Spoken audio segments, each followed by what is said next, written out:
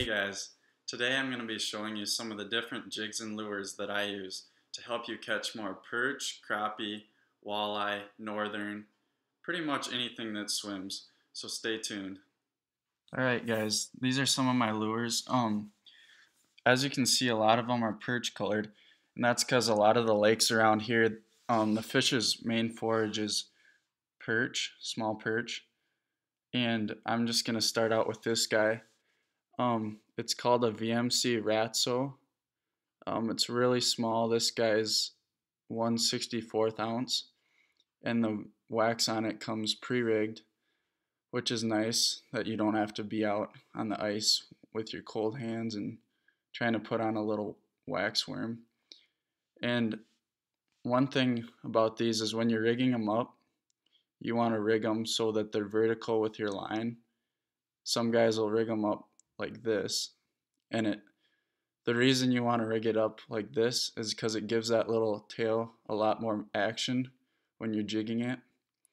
And what I do with these is I put a little wax worm just on the end of this hook right here, um, just to give it a little more smell. And this next one is just a little tungsten heavy metal jig. And I just um, put a minnow head on it or wax worms. And I've had a lot, a lot of luck with this on dead sticks. And what I do is I just hook my minnow and I hook it right behind the fin. And I just let the minnow flutter around with this hook on it. And that's been working well for dead sticks. This next one is a buckshot rattle spoon.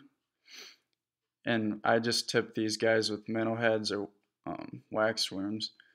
And these are good if you have stained water because it helps the fish find the your jig easier because it, it puts off a lot of noise and vibration because it has those little rattles in it. And again, this one's perch colored because the main forage is perch. And this one right here. This is my personal favorite. It's called a VMC Tingler spoon. And it's um, it's perch colored again. And it's just got a bronze back to it. And what they say is it flutters down and it's supposed to look like a dying minnow.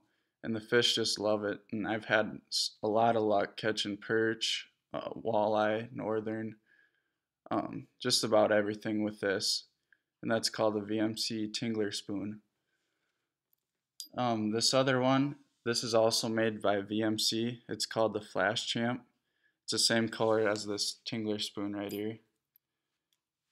And uh, I've had a lot of luck with this guy too, with catching perch. And it's basically just a different shape and it flutters down a little bit different from the other spoons and this is the same one it's just UV colored so if you're fishing in dark water it helps the fish find it better and also in stained water it's very good too. Um, this is VMC tumbler spoon. Um, it just has a different way of falling once again and this one's UV colored so that the fish find it better and it has this little um, spoon that flutters on it too. And I just all these spoons I tip with either minnows or um, wax worms. And this is VMC's rattle spoon. It's pretty much just like this buckshot right here, except it's has a little bit better graphics on it. It has that nice little eyeball that the fish they think it's more of a fish than just some fake little jig down there. Um, it puts off a lot of rattle when it's down there and it just helps the fish find it better. This next one, I haven't been able to use it very much, but I've heard a lot of good things about it. And it's just a Rapala Jiggin' Rap.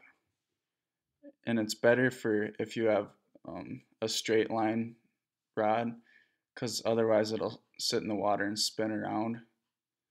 But I haven't been able to catch any fish with this thing, so um, hopefully I can get out and show you guys some of me catching fish with that. And this is another one of my favorites.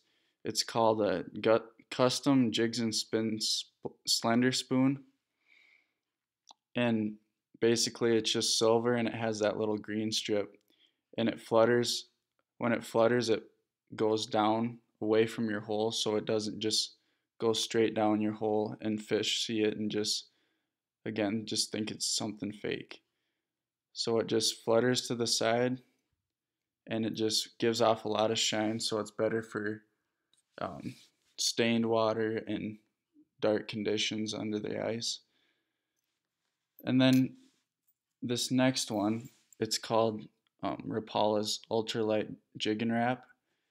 And I haven't been able to use him very much. And he just puts off a lot of uh, rattle and whatnot.